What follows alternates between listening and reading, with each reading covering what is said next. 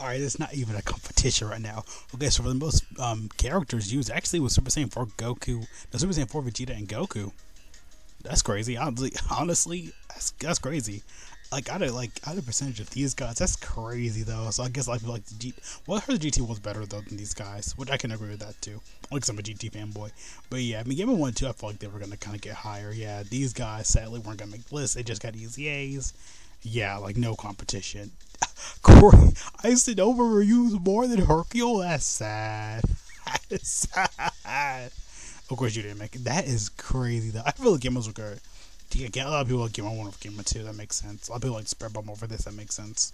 This unit over this. That's crazy though. I mean, I, I knew these guys were gonna probably win, but dang, that's crazy. But yeah, we got the four results right here, of course. Global 10 zones for everybody. Wait, gotta take that, of course. Brand new Dokkan news right here. Let's go. Oh, shoot my bike.